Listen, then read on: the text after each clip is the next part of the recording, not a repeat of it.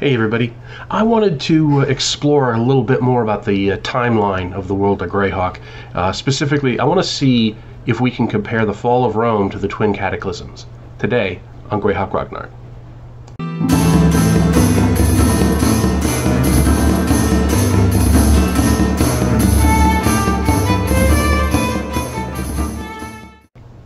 Okay, so my idea here is, and I'm riffing more on the ancient civilization theme that we've been talking about, and uh, maybe a little bit into the human uh, ethnicity things that we talked about a few months ago. Um, that my idea is that the twin cataclysms, the Rain of Colorless Fire and the Invoked Devastation, which destroyed the Sulis, uh, Suloise Imperium and the Baklunish Empire, respectively, that those events have as much of a, uh, a impact on the setting of the world of Greyhawk as the fall of Rome did to the setting of Europe. And by this I mean the fall of Rome was really culturally traumatic uh, to, to European civilization in a way that had never been seen before. It was the uh, the defining moment of Western civilization for a thousand years or more. Um, the uh, the the title of being the heir to the Roman Empire was very, very sought after.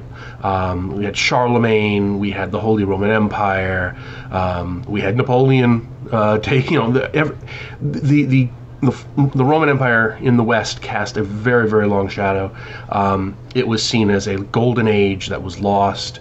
Um, we see this in classical education and, and, and the, the way that uh, class, classical philosophers like Aristotle were put up on pedestals um, and, and revered in a way that they really weren't even in their own times.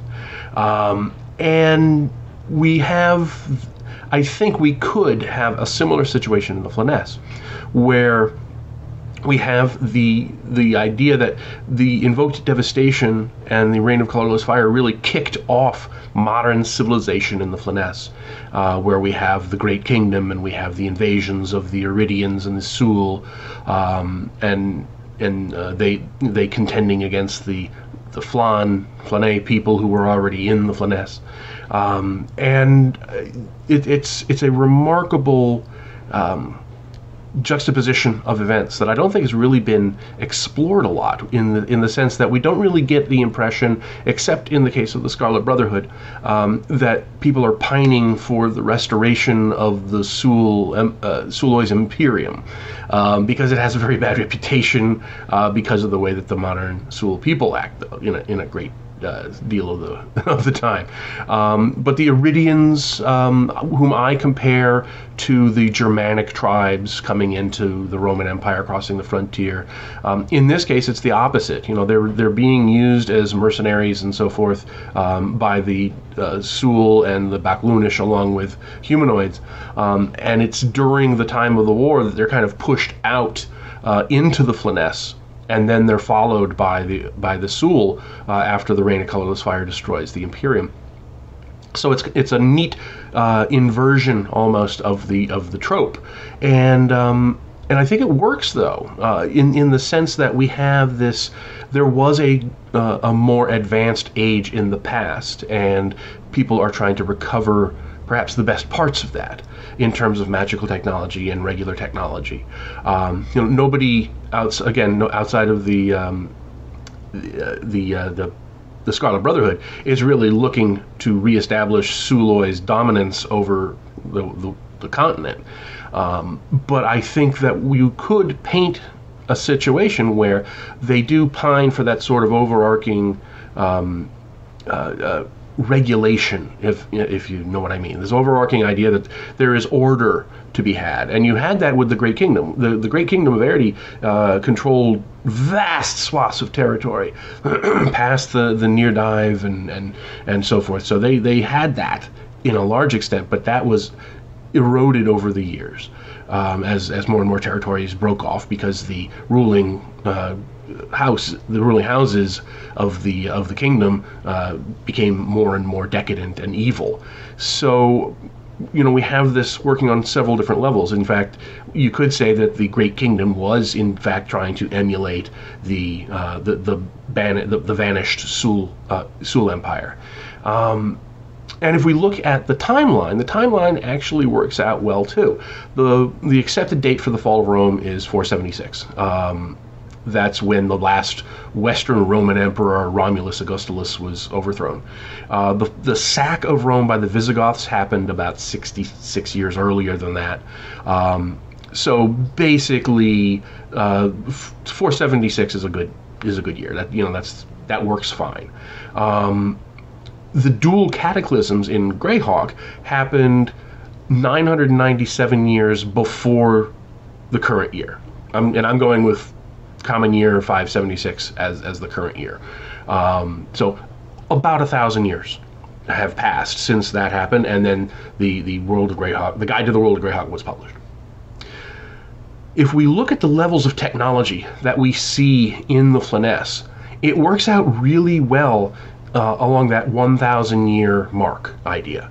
So, you know, in, in the Flanaess, we know we have windmills, we have clockworks, we have paper, we have sheeted glass, we have reciprocating saws. Um, we don't quite have printing presses. Um, that's kind of iffy, and it's, it, you know, you see some references to this in, in a couple of places, and there are you know, and it's hinted at that they don't exist in other places. Um, we have plate armor, um, which started happening in the 14th century.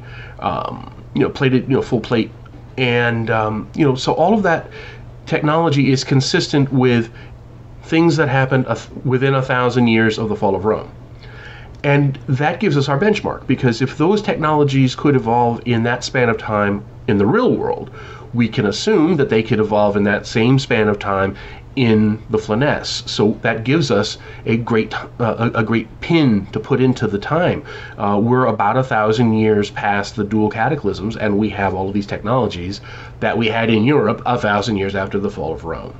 So I kind of like the uh, the idea of the symmetry there, how that works. Um, you know, and uh, I just I really like the idea of this looking backwards for glory um, on a historical level. I think it adds a lot of pathos to this to the setting as a whole. Um, I honestly can't imagine that the uh, the timing of that, the, the, the, thousand years before the, the Great Cataclysm and the present day, um, is a, is entirely a, uh, a coincidence. I, I, would like to think that uh, when Gary Gygax was writing it, he had that in the back of his mind that uh, you know the fall of these great empires is the same as the fall of Rome, and you know that was kind of the benchmark.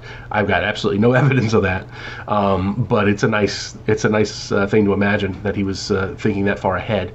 Um, anyway, uh, those are my thoughts on this. Um, let me know in the comments what you think. Uh, do you do you agree with my um, my uh, comparing the fall of Rome to the fall of the Suel and the Baklunish? Um, you know, uh, do you think that's something that you could use uh, as like an, a theme in your own campaign? Uh, please let me know below in the comments. And if you like this video, please remember to hit the bell, like the video, subscribe, uh, go to the Patreon, buy something on the web store, you know, all that good stuff. And uh, if I don't crank out another video uh, in the next couple of days, I wanted to wish everybody who celebrates it a Merry Christmas. And um, I will see you before the new year. Have a great day.